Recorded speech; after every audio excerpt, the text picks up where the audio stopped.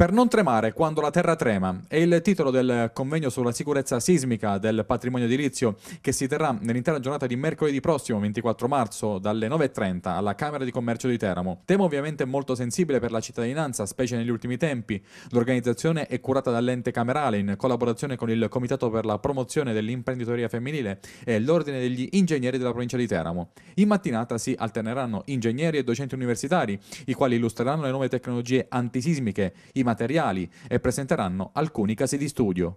Un tema che coinvolge l'incolumità e la sicurezza delle persone, che è un aspetto che è stato forse un po' trascurato negli ultimi tempi ma che ora diventa eh, di grande attualità. Quindi fare una giornata di formazione per eh, i tecnici, per le imprese edili, per tutti gli operatori del settore, ma anche una giornata di informazione ai cittadini sui comportamenti da tenere e anche e soprattutto eh, sull'oculatezza da tenere nella scelta delle abitazioni. Una recente inchiesta portata avanti da Union Camere Italia ha sottolineato come le donne nelle loro imprese portino avanti con grande convinzione il discorso della qualità e della sicurezza, oltre che quello dell'innovazione tecnologica.